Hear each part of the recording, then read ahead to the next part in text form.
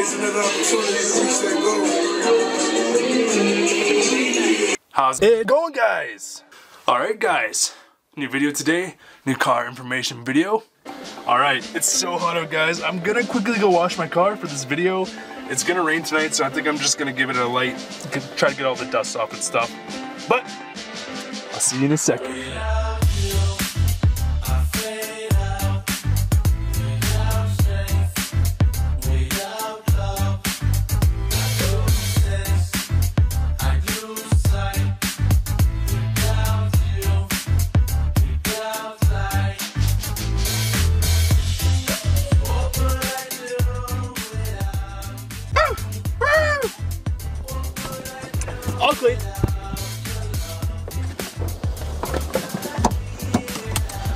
Oh, the door's about to close. Door's gonna close. Close call, close call.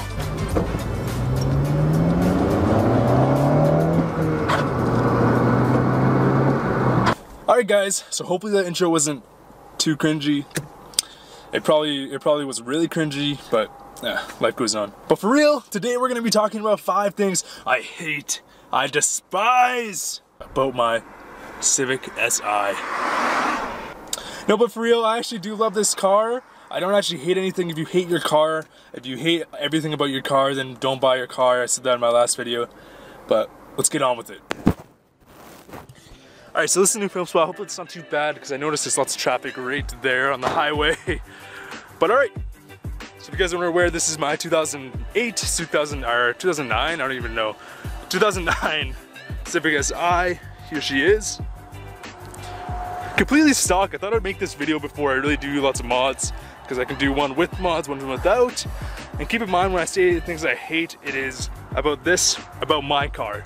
It doesn't necessarily apply to every single SI, but my car. So I guess the one thing that is technically modded is I did do a JDM emblem install on my channel if you want to check that out. It'll be on my channel, but here she is.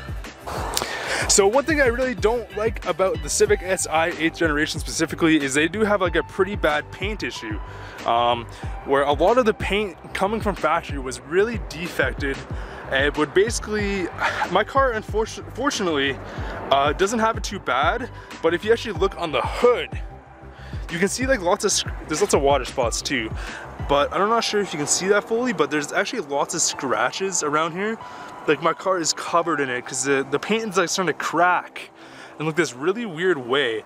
And so like right here, it has a, uh, what do you want to call it? It has a 3M film over this part. Right here is where they ended and then instantly you can see uh, lots of cracks because you know they just didn't have the really good paint quality in 2008. I had the same issue with my WRX. This one isn't quite as bad, but you see lots of people, and I'll flash picture right now, with their whole roof just like sun sunburnt from the sun and this whole area will just be completely gone and you'll have to get that repainted or wrapped or something. All right, another thing I don't like about my car, and just keep in mind a lot of these things I can fix in the aftermarket, but this isn't about that. The point of this video is, is what things I don't like when it's stock. So the other thing I don't like about my car is how dinky and tiny this shift knob is. Obviously you can just go buy a new shift knob, but it's just hilarious that decided to put a tiny, tiny little baby shift knob in this car. It's a, it's a pretty good shifter. I've had no, no real issues with it yet, but it's just, it's just crazy how, you know, how tiny, tiny this shift knob is. Here's a comparison of a water bottle. It's basically like you're, you're driving a water bottle lid. And bringing on to the gears and bringing on to the transmission. Another thing I do not like about this car is that this car has lots of transmission issues. I wouldn't say a lot, but this car has a, I think it's a third gear synchro issue that almost like, I'd say majority of SIs experience eventually, uh, where it'll, it'll like, all the synchros will be messed up, it grinds, it pops, it won't stay in gear. I think it's third gear and second gear. Fortunately, uh, my third gear isn't too bad yet, although I do notice it is not as smooth, it is not as nice as my other gears, so hopefully it doesn't go out too soon. Remember last time I said hopefully my car doesn't blow up and my brakes blew up the next day? I got this car for a, a, really good deal, so I mean, I can't complain, it's, it's running really good. Uh, no problems yet, but I guess we'll find out.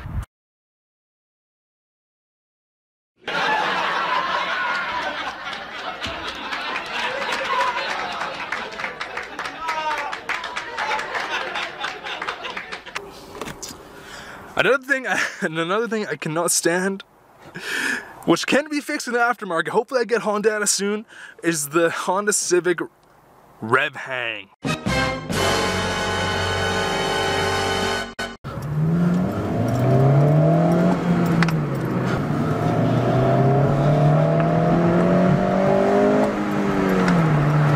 Just a massive amount of revving! It obviously makes it seem like I'm really bad at shifting sometimes. You can't just have fun, you know, you really go through the gears. You you have to, the delay on this car is way, way bigger than any of the other cars I've had. And it takes some of the fun away, but I know you can fix that with Hondata. But unfortunately in Canada here, it's it's super, super expensive, like $800, $900. So hopefully I get it pretty soon. I don't I don't know when the timeline will be on that. But the rev hang is just is just honestly atrocious. Don't wish that on anybody. Another thing I can I don't like about my car, which is more my fault, but this ooh look at that. Ooh. Ooh. Look at those kicks. But is the master clutch cylinder. So a lot of the master clutch cylinders, here if I can focus, um, they end up going or they need to be adjusted right from factory basically. And it's super super annoying. I need to probably adjust mine. Uh, hopefully I don't need to replace it even though it's not too big of a deal. But it's, it's just super weird that Honda would put out a cars being Honda that has like issues like this. So Honda fixed their master clutch cylinder issue. I think they did fix it in 2010 unfortunately this is a 2008 model. I don't know why I said 2009 earlier. Just had a brain fart. But yeah but for real though I do really love this car You know, it's probably one of the best cars I've ever had with the reliability, the gas, the fun to drive. It's honestly just a complete package at a really good price.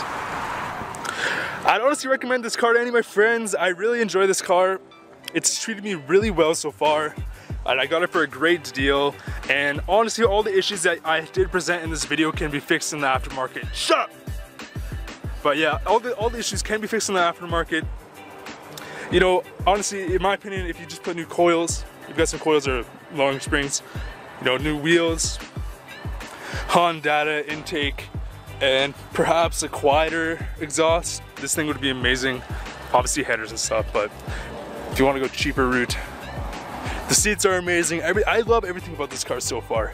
And honestly, besides those little things, I don't really have much bad, and honestly, besides those little things, I don't really have much bad stuff to say about this car.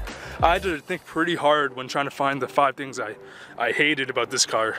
All right, and that's basically it. Thanks a lot for all the support lately. I really appreciate all of it. It means a lot to me. I noticed that the past couple videos have been doing really well, and so I'm gonna try to make some more of those types of videos where I just kind of sit down and we discuss stuff.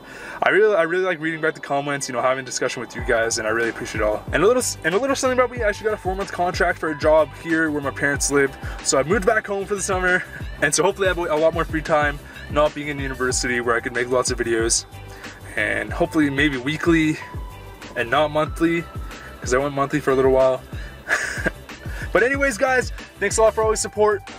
Much appreciated. See you guys later.